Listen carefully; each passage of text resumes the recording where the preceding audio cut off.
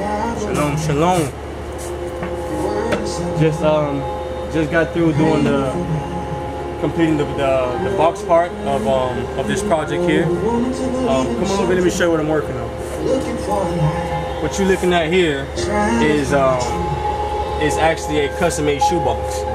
All right, and um, that you can be able to store all your, you know, your great quality shoes like your Jordans, your Nikes, you know, your Adidas, whatever is, is valuable to you. So this here opens up. All right. And by, by the way, this box is about four feet by 34, I believe. All right. This comes out like this. Go ahead and get in there, kid. All right, you see that? So this right here is um is is is actually a very, big box. It can fit up to I'll say about 40 or 45 shoes. I guarantee you can fit in this box here. All right. So slides in very smoothly. And when you get through with it, you can put your shoes in the top part as well.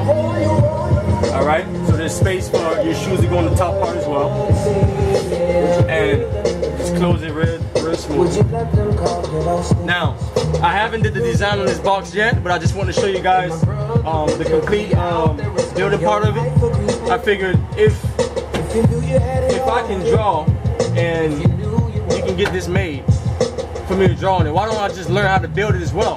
That way I can save you some money and it could be a one-stop shop. You know what I'm saying? So I build the boxes and I'm also gonna design any any um custom made design you want on it, whether it be a, a, a Nike design, a Jordan design, or an Adidas design. Or I could even put your own face on the box. You know what I'm saying? Make it exclusive and then put all the other designs on the, on the side.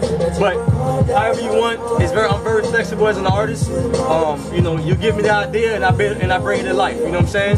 But all praises to the Most High that gave me the, um, the ability to be able to do this, the one that blessed my hand. So glory to the King. Shalom, shalom.